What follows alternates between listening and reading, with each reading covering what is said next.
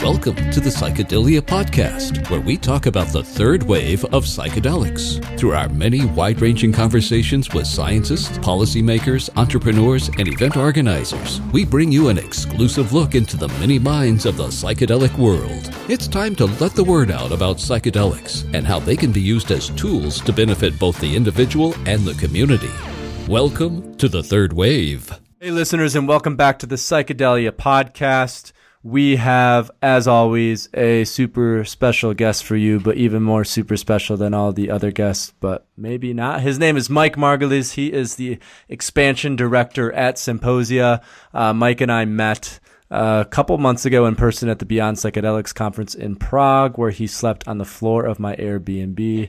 True hobo style. And now I've brought him on here just to talk about Psymposia and talk about his experience with psychedelics and all other things that we just want to talk about. So, Mike, thanks, dude. What's up? Hey, man. Thanks for having me on. Uh, yeah, and thank you for having me, letting me crash at your place in Prague. yeah, that was a super, super fun event. I, I loved the ukulele that you brought along, which I think you had sold your guitar just so that you could bring a ukulele along. I, I trade, well, I was traveling uh, yeah, I had been on the road for like a month, and I was traveling with a guitar, and it just was heavy. And I was saying to uh, my travel buddy Chris, who also crashed uh, like on your couch or floor, and then I had a ukulele. and did that work out? Like, were you happy about that? Trip? Oh yeah, way easier to travel uh, with a ukulele than a full size guitar if you're on the road for several weeks at a time. Absolutely. So what I mean, why why were you at the the conference in Prague in the first place? What was the reason for that? Yes. So uh, well, as you know, tell your audience, my organization Psymposia, we're we're uh, an events group and a digital magazine uh, focused. Uh, we kind of focus at the intersection of psychedelics and drug policy reform. So we have events. Uh, our signature event, uh, which I hosted a session of at the conference is psychedelic stories, where basically what we do is, as distinct from what you would have at the conference, a lot of presentations and people you know, showing their work, we have people go to a more personal level, get up on the microphone and just tell a story from the heart about personal experiences. And that's one of our kind of signature events we've done around well around the world now. and then in parallel to that, we run digital magazine at psymposia.com, which is psymposia spelled with a P, P-S YMPOSIA. And on our digital platform, which is all free available there, we cover similar issues like psychedelic stories, or we cover what's going on in the world of drug reform or in psychedelic science, or we even sometimes question the community itself. In what ways? In what ways would you question the community? I mean, is, are you talking in specific reference to these kind of pieces that you've published as of late? Yes. So specifically, this week, for example, we have been running a conversation series called the Psychedelic Diversity Conversation. And so this week, every day this week, we released a new piece with a different perspective on the series. And what this series is doing is, is actually looking internally at the psychedelic community itself and asking the question of, you know, why is the psychedelic community very white and how do we make it? And, to be constructive about it, how do we make it more diverse? We got people from around the community um, to share opinions and perspectives on this. And yeah, so that sort of thing. In that way, we're kind of poking back at our own community in a sense. And why do you think those constructive conversations are important to have? Because clearly, this is something that I've talked about with you and I've talked about with other people. My friend Brian, I've talked about it with kind of it's kind of been lurking under the surface for a while. And it's it's interesting that you guys brought it up into kind of the internet. You brought it up into the, the dialogue and the conversation that's now happening on, on Twitter feeds and in social media and wherever it might be. Why is the psychedelic community so white? Why do you think that is? I think really it's it's not just you know the psychedelic community, right? This is something that happens on many levels of the society where certain circles are not as diverse as they could be or not as reflect not reflective of the overall society. It's really not an issue that's specifically about this community. It's about a lot of art. It just uh, reflects the overall culture in a lot of ways, or certain aspects of you know the overall culture. And I think for us, I'm always a fan of like a um, be the change kind of mentality, right? So in a way, we're um, I almost see it as a commentary on much broader things in the psychedelic community, but we are posing the questions about our own community because I think that's a more constructive way to go about it. I think it speaks to a much broader message, but rather than saying, "Oh, this is a thing," I don't know the answers for all of society, but you know, we can at least look at ourselves and say, "Hey, what can we what can we do to be better about this thing?" And then maybe the broader conversation, you know, people who might see this can draw from that. Yeah, absolutely. And I think that where you're taking that is a really interesting direction in terms of the the reflection the psychedelic community has in comparison to maybe mainstream society where we do tend to put a lot of attention on white privileged people who have wealth even though they don't necessarily make up a vast majority of the actual people who are operating and existing within our society. And obviously what you guys are doing at psymposia discussing this convergence between psychedelics and policy reform is right at the crux of that because you know probably one reason why the psychedelic community is so white one reason why there aren't as many people um, who are black or hispanic or even as many women as men who are participating in some of these conferences or going to some of these events or speaking at some of these conferences is because it's riskier from oppressed minority groups to be more open about their active drug use in light of the federal government's basically incarceration of massive amounts of minorities, you know, while the drug war has been going on in the past 50 or 60 years. Yeah, it, it is. It's funny. And Natalie Ginsberg of MAPS was one of the writers for the series, and she talks about some of this about how she asked the question, like, how can a criminalized community be privileged?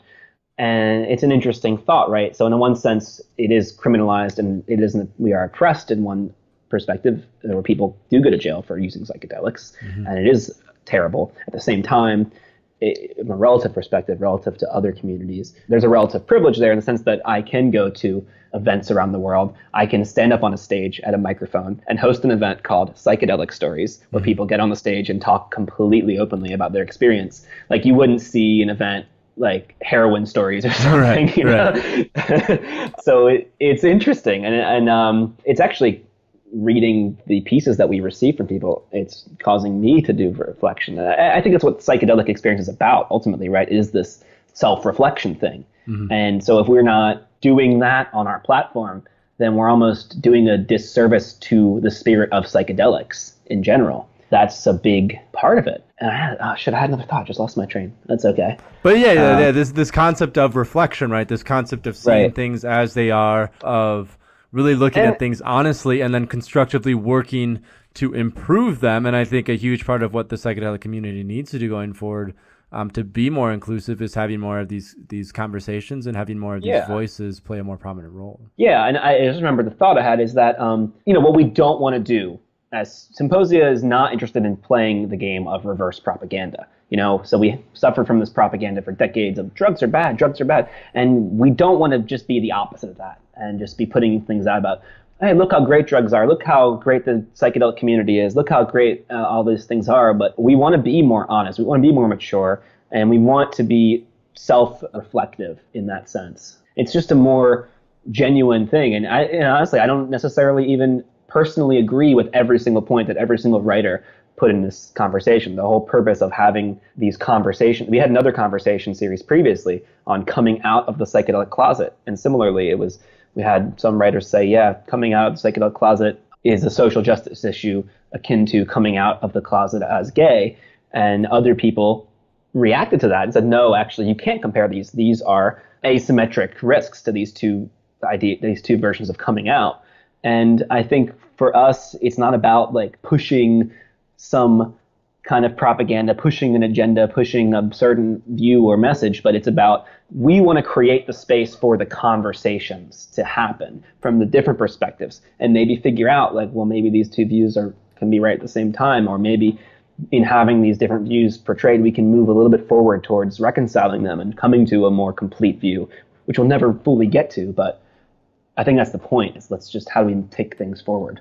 Yeah, we will never fully get to it. I think because there's so many different voices and there's so many different types of people and there's so many different stories that are being intertwined in this, you know, story of of society and the story of our communities and the story of our our regions that to come to one definitive answer for any of these topics or subjects would be impossible because what works for one person or what what one person may perceive from their story, from their life, is obviously going to be much different from another person. I mean, co- coming back to the example in, in, terms of people of color or people from oppressed communities who are in the in the psychedelic community, someone who has taken psychedelics and is not as well off, or maybe not as wealthy, or maybe not white um, their story about why they took psychedelics, their story about what happened as a result of that. It's probably going to be different from someone like me, who comes from a very middle class, very open, very supportive family uh, where I've had the privilege to do certain things that other people haven't. And so understanding those different stories and, and like you said, providing space for them to happen is, uh,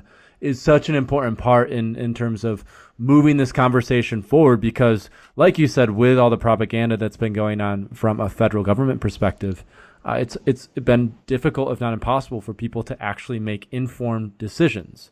And mm-hmm. you know, by providing these uh, spaces for people to have constructive discussions online, people finally have an ability to understand and make decisions based on their life situation. Like you said, that doesn't mean that, for example, psychedelics aren't for everyone, but for those who are interested in them or those who want to try them, at least they have this understanding of how to navigate that experience and what it might mean for their personal identity. Yeah, yeah. Absolutely. Yeah, so tell us then, speaking of psychedelic stories, you should tell our audience live on the call right now. I'm just I'm going to stall a little bit longer so that you have time to think of a psychedelic story. You should tell us a psychedelic story from Mike Margolies uh, of I Psymposia. Can. Name a drug. mm, let's pick LSD. I wish we could do like live tweeting right now. We should do that in a future podcast where we like live tweet our audience. Like, okay, so Mike from Psymposia is about to tell a psychedelic story. Which drug do you want him to tell you about? This is and what then, I do at the events. Um, do you? if I, well, I, I, I really, it's about create, like you said, creating the space for people. So as much as possible, I would always defer to other people to tell their stories. That's more so. But if it needed, I'll tell one. So that's my technique. If if, uh, if I gotta tell a story, I'll say, well, what what drug do you want to hear about? So LSD. I guess maybe like the first time I did LSD is a good story. yeah, I think that's that's an excellent place to start. and then um, I can maybe tell mine as well if, if if that's something that I that that I feel is, sure. Is appropriate. yeah, LSD is the first psychedelic that uh, I did, um, unless you count marijuana, which can be psychedelic. But yeah, so at this time, you know, a buddy of mine had some acid, and I didn't know what to expect. I had been fascinated by the idea of psychedelics. Like, what does it mean to hallucinate? You know, like this whole premise to me was fascinating. I think that's what drew me to them. I was like, I need to understand. Like, if there's something you can just take some molecule, right, and it can make you see things. Uh, and what does that mean? Like, what does that mean about our whole perception of reality? That that whole premise is just fascinating to me. So um, we did this acid, and I was living in Northern Virginia at the time. So we took this acid and we went to the Smithsonian museums in Washington D.C. And the funny thing about it is, it was so underwhelming. like I was expecting it to be like seeing shit that wasn't there, hallucinating, mm, right? Mm, mm, mm, um, and it wasn't like that at all. It was actually like, well, the world was just a little bit more interesting. Mm-hmm. You, know, you know, everything just had more meaning. It was so much more subtle than I had imagined. Now, maybe if I had taken 10 hits of acid, I would have had a different first time doing acid story. Mm-hmm. But that was the thing that struck me the most about the the experience was like how underwhelming it was. But it was an awesome day. I wasn't seeing shit that wasn't there, but we're going around and you know just not even necessarily the art in the exhibit, but it would be just oh wow this plant here. I never noticed the colors on this on this leaf here, and just the insights that came, random in life insights that came that day, and. Uh, yeah, I think I have since then had actual like hallucinations, but less it's less like of a visual, like seeing something that's not there, and more so when I hallucinate, it's more like a mental hallucination, like yeah, it's, a situation right. happening that's not really happening. Right. it's like a mental mind fuck. We could call yeah, it, yeah. where like you take you eat a little too many shrooms, and you're like, did I create the world, or was it right. here before me?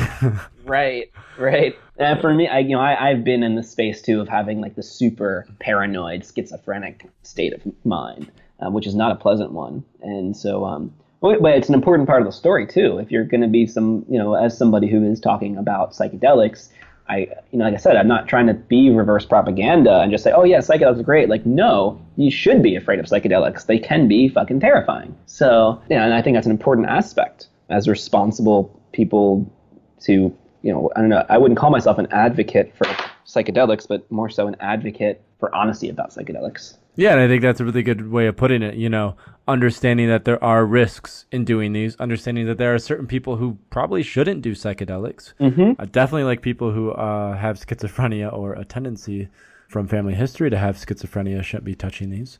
But also understanding that there are tremendous benefits when we look at psychedelics as tools for specific changes within our subjective experience of life. And um, understanding then, you know, once the propaganda gets stripped away, once the misinformation, the disinformation gets stripped away, people can actually make decisions, rational decisions based on real information rather than operating in some type of shadow space where, you know, they're hearing information like, if I take LSD seven times, I'm deemed like legally insane, which is a bunch of horseshit, obviously. Right, right. Like, like that's so fucked up. Yeah, like, that's not just true there's a lot of lies. Yeah, there's a lot of lies about the whole all of drugs. Really, this is well, on a tangent a little bit. That's what's what's funny is almost ironic about the psychedelic. Uh, here's another challenge to the psychedelic community that I'll issue is like you know we are so many not everybody, but you know, most people in this community, okay, we get it.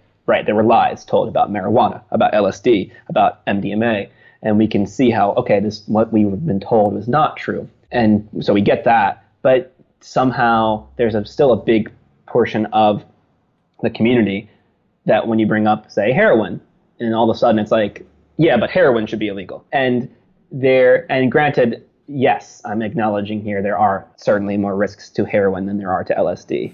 You're not going to overdose on LSD like you could on heroin. Um, LSD is also not addictive. addictive. opiates exactly. And heroin, there are right. absolutely more risks. That said, it's like, you know, there are people, I do know people that are functional heroin users. It's not this thing that, okay, you do this once and you're addicted forever. It's not this thing that if you sell heroin, you're evil. You know, maybe there are some people that are, that are taking advantage in that. But I just kind of find it to be interesting. Uh, and this is another, this is an example coming back to the whole privilege thing of, you know, like you can, this is where psychedelics versus heroin, there's like a, a distinction there between the users. Like the users of these drugs are viewed differently. And, you know, of course there are differences, like I said. I, I won't deny that. I think, uh, like I said, I, I want to be honest on all these drugs about what are the risks, what are the benefits. But I do find it interesting, and it's a challenge I want. I always want to issue within the drug reform circles is like, don't play the my drugs are better than your drugs game. play the understand what the, the risks and what the potential benefits are of each substance and if you decide Yes. to use them you know be informed about, about what your use may bring and Absolutely. you know i think like from a benefits perspective there's probably more benefits to taking uh, a substance like psilocybin or lsd compared to heroin in terms of the Depends though, right? Heroin is diamorphine. If you call it a different name, it has a whole different connotation to it. Mm-hmm. And diamorphine is what's used in hospitals in the UK, same as we use morphine here. It's the same. Mm-hmm. It, it- that's heroin. We just call it a different name and we administered a different, different set and setting, right? So just like set and setting and dosage applies to psychedelics, it applies to heroin. Set, setting, and dosage is part of the equation here. Yeah, and, and that's a really good point. It's about the context in which in Yeah. which we use it. It's about the the time, and it's about the place, and it's about the situation in which we use it, which can which makes a decision about whether or not it might be beneficial or harmful. So that that that is a good point. That is a good point, and I think that brings up, you know. I mean, if we want to take that road, we could about all drugs obviously should be legalized and regulated. There are some drugs that have less risks than others. There are some drugs that are less harmful than others.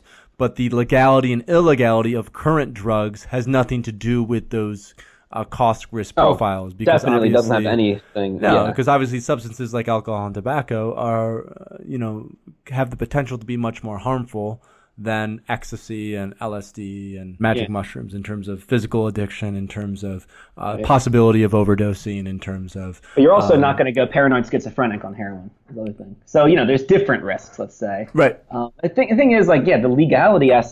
There are risks with every drug, and it's like putting people into cages because you prohibited the substance because you deemed it to be bad is missing the point. Like, no, we want to help people. So you want to provide on the case of psychedelics, how do you mitigate the risks of psychedelics? Well, you provide the containers, people can do them. How do you mitigate the risks with heroin? Well, you know, you have safe injection facilities. You make sure people what they're getting, they know they're getting the actual correct substance, not something laced with fentanyl or something, right? Um, you and you and people who have addiction, you know, it's a radical concept. How do you help somebody you with addiction? Well, you help them.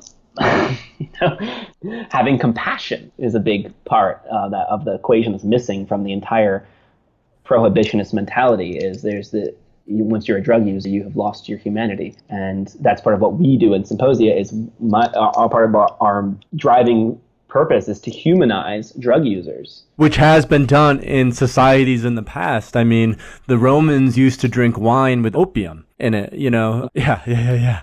So, like, drug use has not been stigmatized in previous societies. It's only with the onset of kind of this patriarchal Christian dominated society that we live in that all of a sudden drugs have been stigmatized so heavily, at least to the degree that they are. Yeah, well, it's certainly, I don't know what stigmas there were, weren't in previous times, but certainly there hasn't been mass incarceration and in some cases killing, like we're seeing in the Philippines right now, 2016.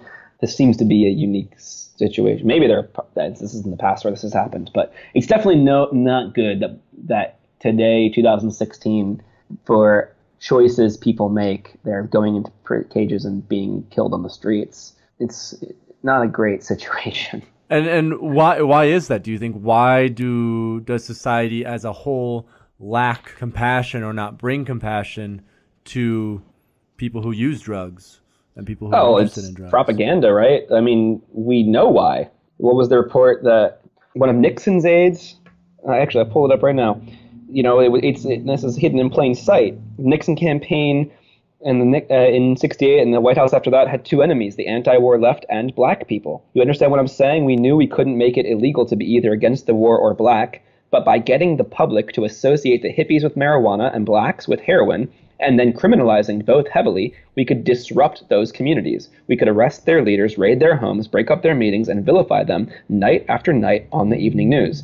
Did we know we were lying about the drugs? Of course we did. This is one of Nixon's top aides, as a direct quote from him. So what's the reason? It's it was deliberate propaganda. There's your that, that's the real answer. It's and this is ties back into the, the race conversation. Like part of the drug war a big aspect of the drug war was inherently racial in nature. In the U.S., this, the drug war is what replaced Jim Crow, uh, and it's the means we have currently in the United States 2.2 million people in prisons. That's as much as China and Russia combined. It's more people in prison like ever in any country in history. I'm fairly certain, and this is by design. That was the purpose. It was to control. And and what does it what does it propagate? So why do you think you know? And I totally agree with you. It is a matter of propaganda. It is a matter of placing blame. It is a matter of disrupting systems. Why would Nixon or why does even our current administration, uh, whether that's Obama or whether that's Trump, you know, why do they still vilify substances, even though most people are starting to wake up to that it is part of the propaganda machine? Yeah, I, I, think it's. If you're asking me to go into Donald Trump's head and understand what his motivations are, that is a difficult task. no, no, no, no, no. I'm just asking, you know, like, why did Nixon and these top aides want to vilify drugs? You know, why did they control. want to break up the because they left? had these were communities that were um, they were threatening to the powers that be. The anti-war movement and the black communities that are now fighting for their civil rights. You know, like they're fighting against oppression these uh, threats, right? So what do you do to a community that is threatening? Well, you find some you know ways to control. You find, and that's what happened. They just found these. There are these channels that are used to control uh, members of the population, and so uh, it's it's about power. It's about control. I mean, what's it not about? It's not about compassion. It's not about helping people with drug problems. It's not about mitigating the risks of drugs. If you were trying to help people and mitigate risks of drugs, you would help people and mitigate risks of drugs. But it's not what it's about. But it's Yeah, changing. It's changing. I yeah, I I- you know I I'd like to think so. I think certainly we've seen progress, and you know Obama was making efforts towards you know he was giving pardons and helping with this mass incarceration thing, and all everything we're seeing with the psychedelic research is um, super promising. You know, MAPS just like what two days ago, right, got approval from the FDA to enter into their phase three trials. So lots of positive indicators, but and you know had all these states legalizing marijuana in the, in the recent election. These are all really solid indicators of progress. That said, we just elected Donald Trump. So what does that mean? And I don't think we even know what that means yet. There's a part of me that wants to believe it's going to be okay and we're going to keep the progress going, but there's a part of me that's like, you know, maybe he's the next Nixon. Um, and it's, I think there's a lot of uncertainty right now about where is this going to go. I think ultimately, you know, what I think this is an MLK line, right? The, the arc of the moral universe is long, but it bends toward justice. So I think in the long run, yes, but I don't, you know, what did Obama say after he uh, after the election? He's like, you know, progress isn't a straight line. Sometimes you take steps backward, and I don't know what phase we're going into right now. Uh, it's it's a big question.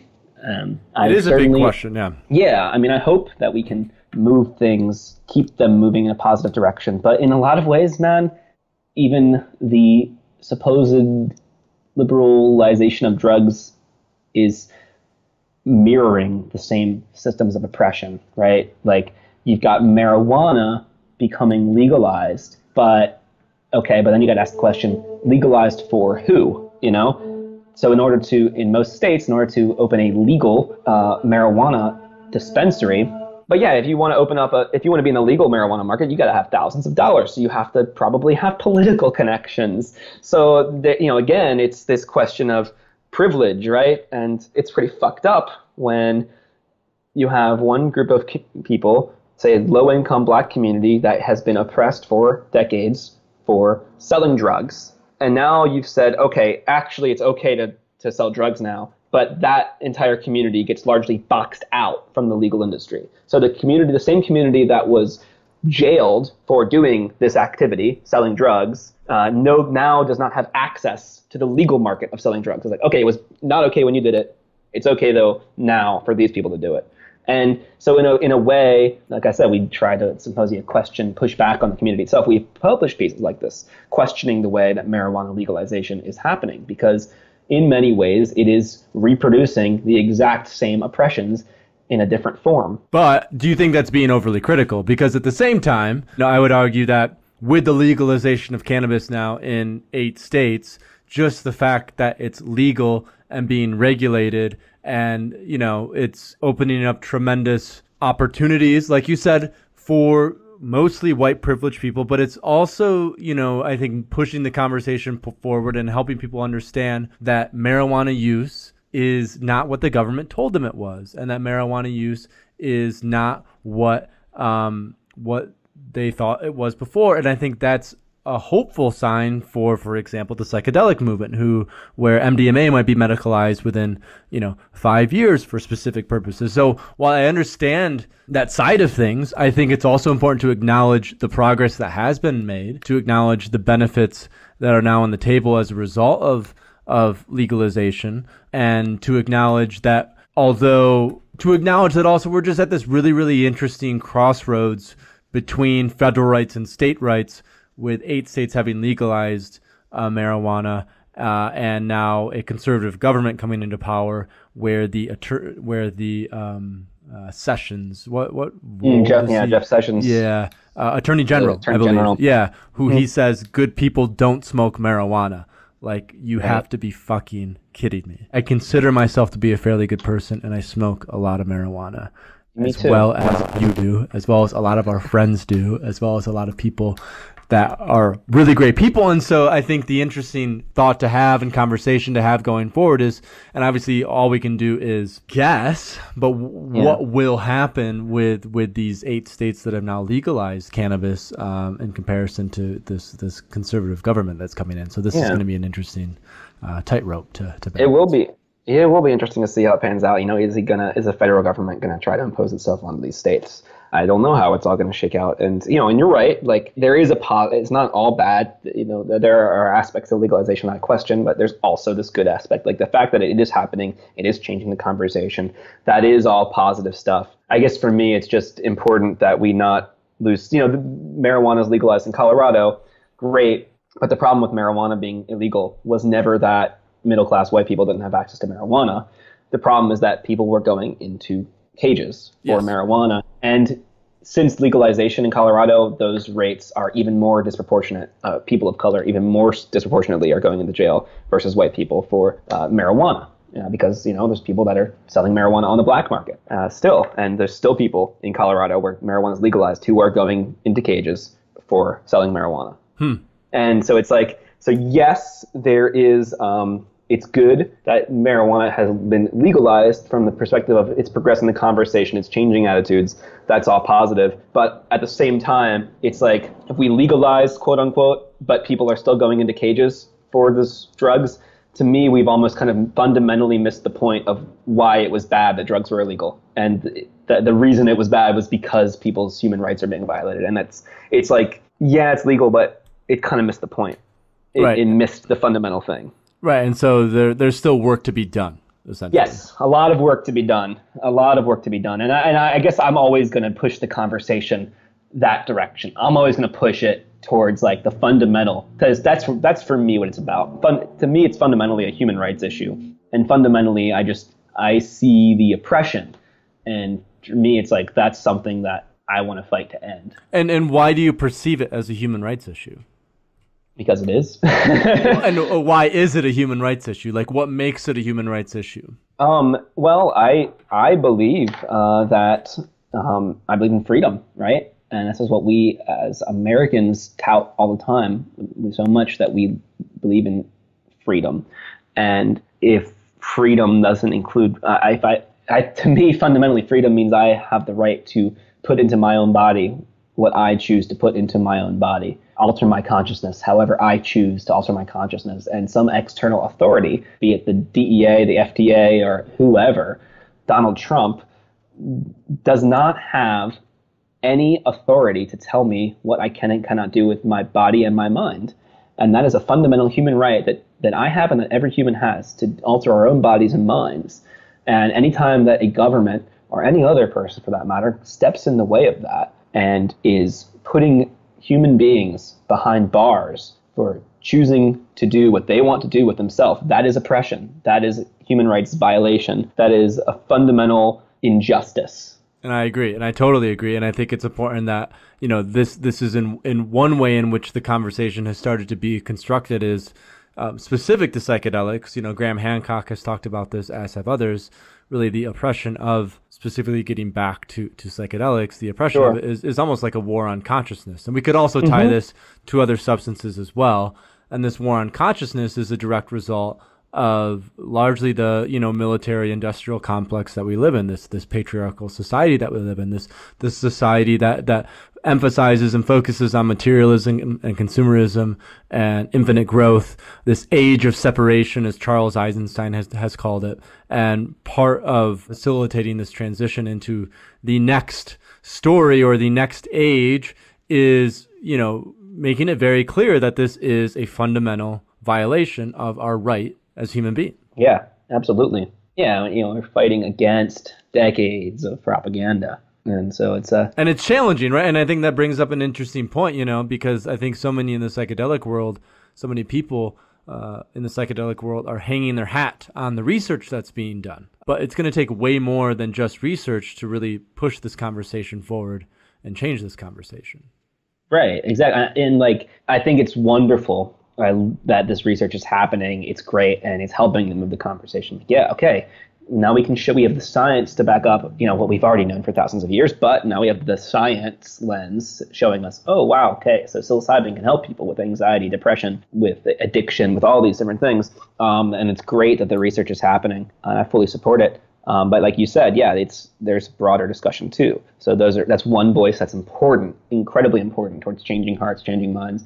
And i think in addition to that I, I think we are selling ourselves short if we predicate our right to use these on there being proven FDA approved medical uses for these things. Like, you know, to me, it's more fundamental than that. I think it's like, so it's both. It's, I'm great. I'm glad the research is happening. Uh, it is helping to move the conversation forward. But I also, I don't, I, I, I'm not hinging my right to use these things on the fact that there's medical use. Right. Absolutely. Because as we said, that goes back to the conversation that we were having earlier that still leads to the stigmatization and the criminalization of substances like crystal meth, like heroin, mm-hmm. like uh, methamphetamines, like you know all these other ones and it's progress in the right direction it's by acknowledging the benefits of these we are moving in the right direction and you know with the mental health crisis that especially in the united states we have with the overprescription of, of pharmaceuticals you know these are coming at a very very good time psychedelics specifically. Yeah. And, and the other thing i'll add too is like again i'm very much looking at like are we reproducing systems of oppression and control with a different name with a different form? And like so it's great. By all means i want there to be uh, fda approved ways to use psilocybin. You know i want there to be those spaces where you can go and you can legally have a licensed person administer and sit with you and do this session, like what I had when I was in a Hopkins study. I want more people to have access to those kind of containers to do it. It's a beautiful container. But I also fundamentally am going to push back on the idea that that is the only appropriate container where you can do a psychedelic. You're only allowed to do a psychedelic if you do it at it at a you know this specific thing that's government licensed and FDA approved and this specific methodology. Like, you know what? Maybe I want to go into the jungle and be with a shaman and drink a cup and do it in a different, use a completely different paradigm to interact with the psychedelics. I think we run the risk with the medicalization stuff. I mean, yes, by all means, create those medical containers and spaces, but I, I think we need to be wary of, of trying to say, well, this is the only authorized container to do it in. You know, and we run that. That's a risk we run of where we're going. That's probably how it's going to happen first. There will only be this one authorized container where you can legally do MDMA without fear of government coming in to you. And I want that container to exist. Just can't be the only one. It can't be, but as, as you made a note of with Obama's quote about, you know, sometimes progress, you know, it, it doesn't happen in a straight line or sometimes it's slower than we'd like. It can be incremental in nature. And like we saw with the medicalization of cannabis, seems to happen with medicalization of, of previously illicit substances is by medicalizing them, uh, helps people and communities become more comfortable with them. And mm-hmm. by helping communities become more comfortable with them, it helps them to actually assess them without having their uh, assessment be impeded by propaganda and misinformation. Um, in other yep. words, you know, when people, for example, let's let's, I mean, talking about PTSD, right? Like PTSD is a huge fucking issue in the United States because we are this warmongering nation. And if MDMA, which we just got approval for the phase three trials, if it gets medicalized for PTSD, well, now all of a sudden, within this container that, that people are taking it, they're going to start to, to talk about the benefits that they've had in, in, in really overcoming these this trauma that they've had in the past. They're going to tell their friends about it. They're going to tell their family about it. And as those people start to really understand the truth then about these substances, that's when then some of these like decriminalization acts happen. That's when then legislation starts to get pushed through about, okay, we should actually legalize and regulate it. And I think that's what a lot of people in the psychedelic movement are hoping for is mm-hmm. the, the eventual full legalization of psychedelic substances because, like you said, to have them be limited to only a medical use would be an absolute shame considering the potential for these right. in different contexts. And one of my favorite authors on this is some of the academic work that Ken Tupper has done. Ken the Tupper, he mm-hmm. he works in the the government in Victoria, British Columbia. Yeah, Ken's a great guy. Yeah, he's he's a super cool guy. Uh, mm-hmm. I met him at Horizons this year, and then also spoke to him at the World Ayahuasca Conference. And you know, he writes a lot about you know the use of psychedelics, specifically ayahuasca, as these tools for like awe and reverence and mystery. Uh, in terms of what they can bring into like an educational perspective. And I think that for me is also really interesting. And not only from a medical model where we're treating people who have a supposed deficit, but also just from like a personal development model, living more vibrant lives, having more um, egalitarian societies, having more inclusive communities, going back to the, the racial conversation, you know, mm. psychedelics can play a tremendous role in facilitating all of this. Mm-hmm. Yeah, absolutely. And, uh, you know, totally agree with you. Like, it's good that it's happening because just the fact that, you know, medical does lead to more broad uses and just the fact that more people are smoking marijuana now, or maybe not more people are smoking marijuana, it might just be the same, but more marijuana in the culture influences the culture. And so, yeah, I do agree with you on all that. That this uh, it still is progress. I'm just always going to be the one to poke the holes. Good, and we need those people, right? Because there's always more progress to be made. And I hope one time, and one day in our lifetimes, you know, we don't have to have these conversations. Right. You know, that's the goal is to make our jobs obsolete. Exactly, exactly. It is to make our, our jobs obsolete because ultimately we're both working within an advocacy role. I mean, not an advocacy uh-huh. role per se, but th- there is a level of advocacy to it. We're trying to uh, chip away at power structures that we find to be oppressive. Mm-hmm. And if one day we can wake up and psychedelics are legalized and regulated and people have access to them equally and people can do with them as they wish, then you know most of our work will be finished. But I think that there is a very very long way until until that day arrives. Unfortunately. Yeah, yeah, we've got we've got a long ways to go, and I don't know how much progress is going to be made in the next eight years or four years or whatever it is. Hopefully it is. four years. Hopefully four. Um, but you know, in a weird way, maybe we'll make more progress, right? Because like you mentioned earlier, like the issue of federal versus states' rights that might come to a head. And if it does, like maybe that does, uh, maybe there is uh, an uptick in the, in more people wanting to be more localized. And, and so, do you think secession is a possibility? No. Uh, you know, I don't know. Have you been reading any of that, like about like Dude, California, like mobilizing its militia and stuff? I I didn't know it went that far. Um, I don't know what's possible anymore, man. If you asked me two months ago, is it possible for Donald Trump to be the president? I would have said no fucking way. you know, but here we are. So I really have no idea what's possible. Everything is possible. Everything is possible, especially Sab when you're milega, as they say in uh, in India. What is it? Sab kuch milega. Great. Everything is possible. It is, and and I mean these are these are interesting times that we're living in. These are turbulent times that we're living in. These are these are times of change, and my hope is that we can withstand the next four years by sticking together with our communities and making sure that those who are in a position that they may be oppressed are not. And um, yeah, I yeah, I mean it's like I had after this result, there was definitely this part of me that a big part of me that was like disheartened and was like, wow, and it just like hit me like a ton of bricks. I'm like, it, it affected me a lot. I'm like, wow, what does this mean? Where are we going with this? But I have since kind of, I think now I'm sort of thinking, no, it's more important than ever now to keep doing this work. It uh, is. It's it needed, is.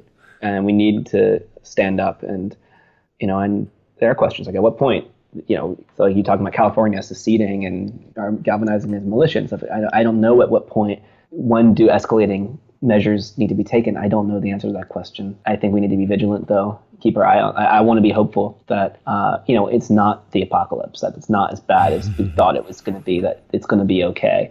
Um, but we, I think we also have to be very mindful of that. If we keep our eye on what's going to be happening and adapt appropriately. Um, yeah. a lot of questions. Resilience, right? Having mm. resilience and being adaptable. I think that's that's important. Now, what you know, tell us a little bit about what what are plans for the future for for Psymposia. So obviously, you guys have you know you did psychedelic stories at Horizons with Duncan Trussell, which was a fucking blast. You hosted psychedelic stories at, at Beyond Psychedelics. I think you've hosted a couple more events as mm-hmm. well um, since Horizons.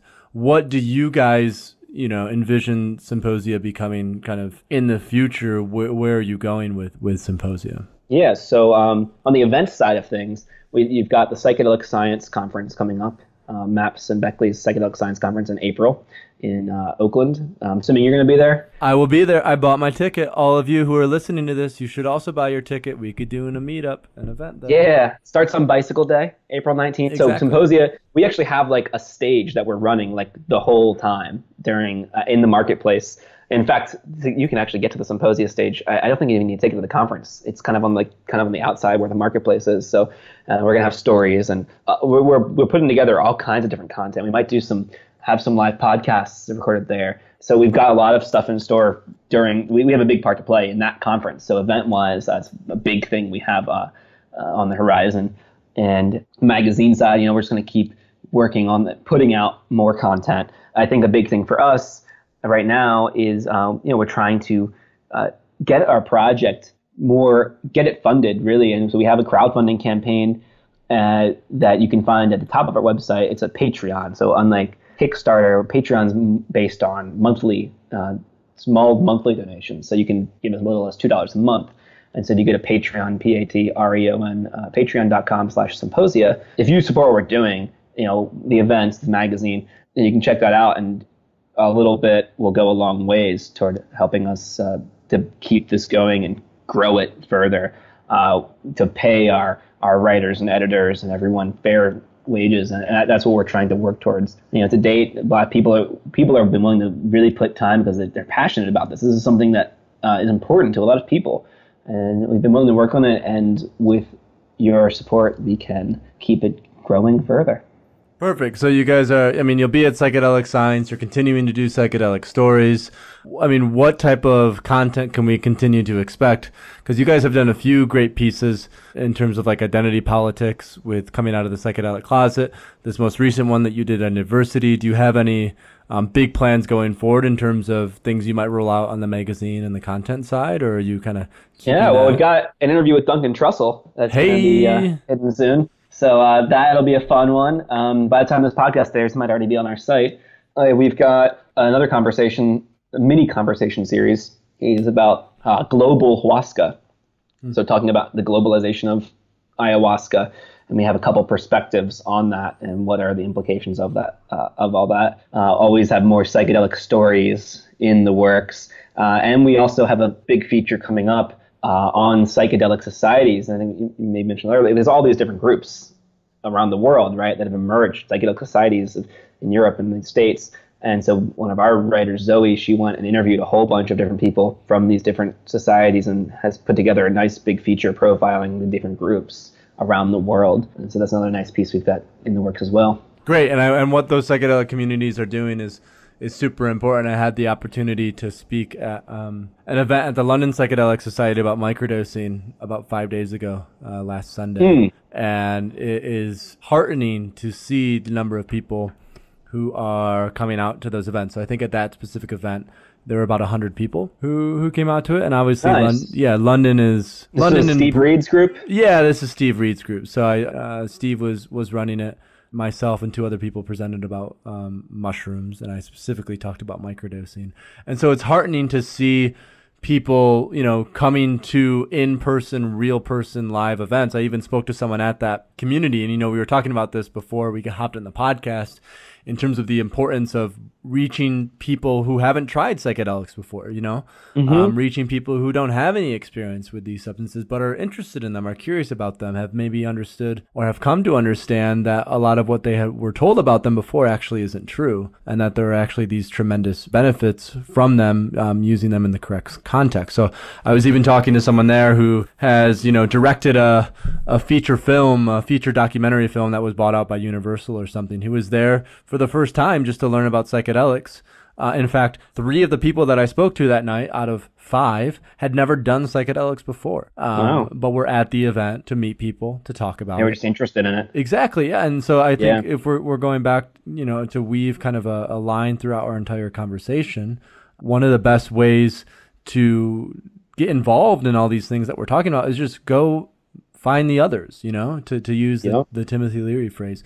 Go meet other people in your Find the people who aren't others yet and make them others. yeah, yeah, exactly. Invite your friends to come to events. Invite your friends to join your communities. Invite your friends to have these conversations um, or you go yourself. You know, this is a project that we're working on right now with the third wave in terms of how do we incubate a community, specifically psychedelic community, to get it up and going uh, in cities all across the world. Because while there are many, I think just over 50 at the moment including some that are very well represented, like Brooklyn, the Brooklyn uh, Psychedelic Society, the San Francisco, of course, Psychedelic Society.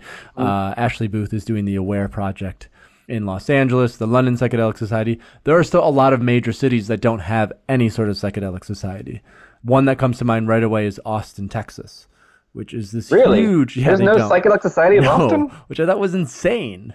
I'm talking with a few people right now to try to get one up and going there because there definitely needs to be one there. But yeah, so if you're listening to this, go join your local psychedelic community. Send me an email if, if you don't know what your local psychedelic community is. In this podcast, we'll include a link to those show notes, or we'll include a link in the show notes to some different resources that you can use to find one.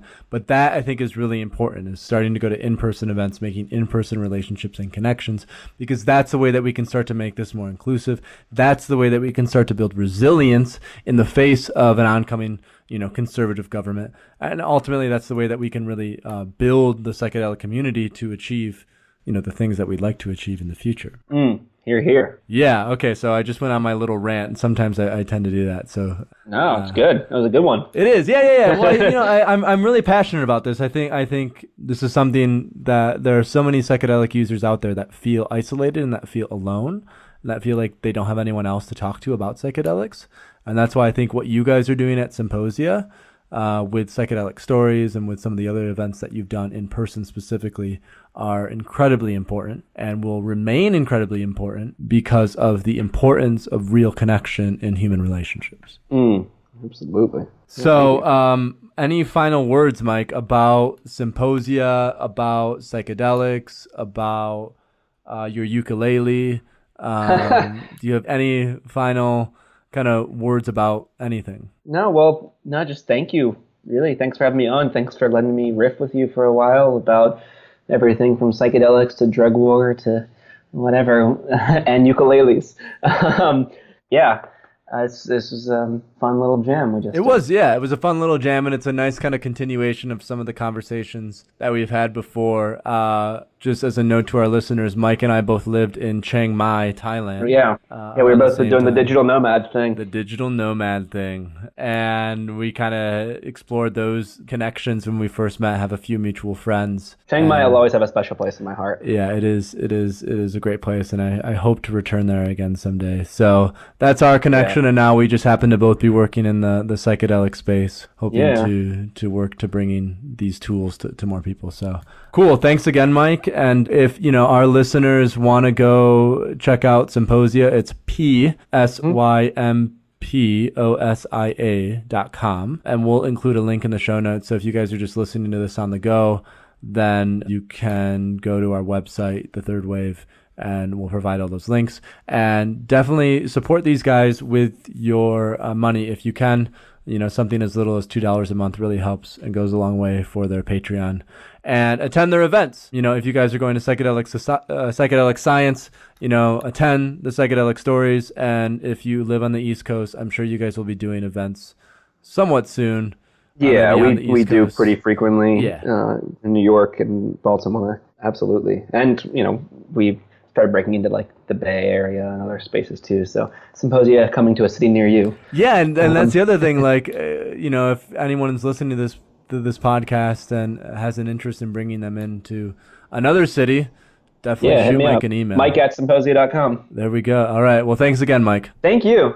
Thanks for listening to the Psychedelia Podcast with Paul Austin. Want more psychedelic information? Go to our website at thethirdwave.co and register for our email list and newsletter. Also, please consider donating to The Third Wave via our Patreon page. Donations make this podcast possible. Psychedelics have the potential to transform lives. By donating, you enable us to continue to inform people about the benefits of these powerful substances.